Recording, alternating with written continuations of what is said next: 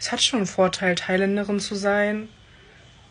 Die Männer senden dir einfach keine Auberginenbilder. Die haben Angst, eins zurückzubekommen.